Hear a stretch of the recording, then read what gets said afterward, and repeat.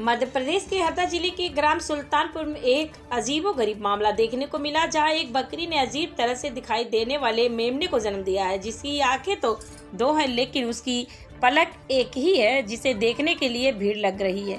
इस तरह दिखाने वाला मेमना लोगों को हैरान कर रहा है कि ग्राम सुल्तानपुर निवासी उमेश मराठा ने बताया कि उनके परिवार में सालों से बकरी पाली जा रही है, लेकिन इस तरह के बच्चों को, उनके परिवार के लोगों और आस पड़ोस में रहने वाले लोगों ने पहली बार देखा है। मराठा ने यह भी बताया कि उनकी बकरी ने दूसरी बार मेमने को जन्म दिया। इसके पहले हुआ मेमना एकदम स्वस्थ था।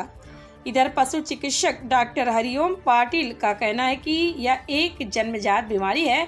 ऐसे बच्चे ज़्यादा दिनों तक जीवित नहीं रहते छोटी मोटी बीमारियों का उपचार संभव है, लेकिन ऐसी बीमारी का इलाज संभव नहीं है। इसका ज़्यादा लंबे समय तक जीवित रहना मुश्किल है। यह ग्राम सुल्तानपुर में एक बकरी ने बच्चे को जन्म दिया था, जिसको कंजनाइटल मतलब जन्मजात डिफेक्ट्स थे। इस तरह के बच्चे जो रहते हैं ज़्यादा अधिक समय तक ज़िंदे नहीं रह पाते हैं।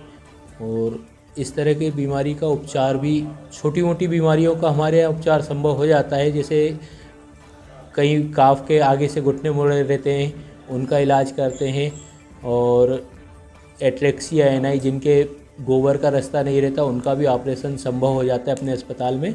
लेकिन इस तरह जो आँखों के डिफेक्ट्स रहते हैं, इस तरह के बच्चे तो वैसे भी जीवित नहीं रह पाते और इलाज भी अपने यहाँ संभव नहीं हो पाता।